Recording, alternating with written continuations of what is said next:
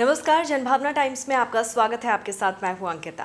अयोध्या में पिछले एक महीने से दहशत का पर्याय बन चुका तेंदुआ आखिरकार वन विभाग की पकड़ में आ गया है।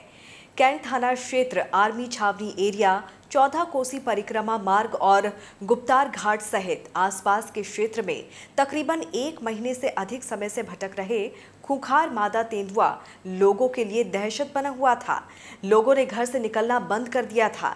इलाके के बच्चे स्कूल तक नहीं जा पा रहे थे। सब लोग इस बात से आशंकित थे कि घात लगाकर बैठा तेंदुआ कब उन पर हमला कर दे और उनकी जान पर बनाए। लेकिन अब उसे पिंजरे में देखकर लोग राहत की सांस ले रहे हैं। सोमवार तड़के कैंटोनमेंट इलाके के मीरन घाट चौकी के पीछे लगाए गए पिंजरे में तेंदुआ उस समय गिरफ्त में आ गया, जब बकरी का शिकार करने के चक्कर में वो पिंजरे के अंदर घुसा। अब इस तेंदुए को पकड़े जाने के बाद बड़ी संख्या में लोग देखने के लिए पहुँच रहे हैं। अयोध्या के कैंट थाना क्षेत्र में पिछले एक महीने से तेंदुआ देखे जाने के बाद क्षेत्र में दहशत का माहौल था। इस बीच कई बार इलाके में घूमते हुए तेंदुए का वीडियो भी वायरल हुआ था। वन विभाग ने इसे पकड़ने का जाल बिछाया हुआ था, लेकिन उन्हें कामयाबी नहीं मिल रही थी।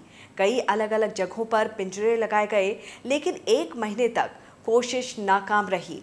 आज सुबह सबकी आँखें उस समय चमक गई, जब उन्होंने तेंदुए को पिंजरे में कैद देखा।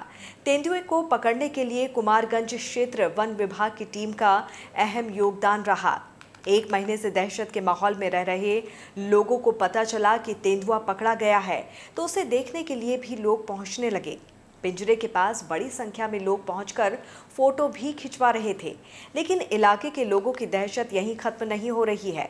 जानकारी के मुताबिक, एक और तेंदुआ इस इलाके में छिपा हुआ है, जिसे पकड़ने के लिए वन विभाग अपनी सारी कोशिशों में जुटा है। अयोध्या से रुपेश श्रीवास्तव के साथ ब्यूरो रिपोर्ट जनभावना टाइम्स।